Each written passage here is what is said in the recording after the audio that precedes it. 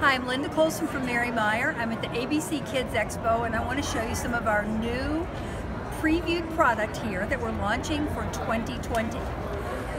We all are familiar with putty. We know putty is one of the strongest selling categories in our line.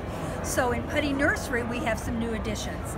A llama in the traditional cream color.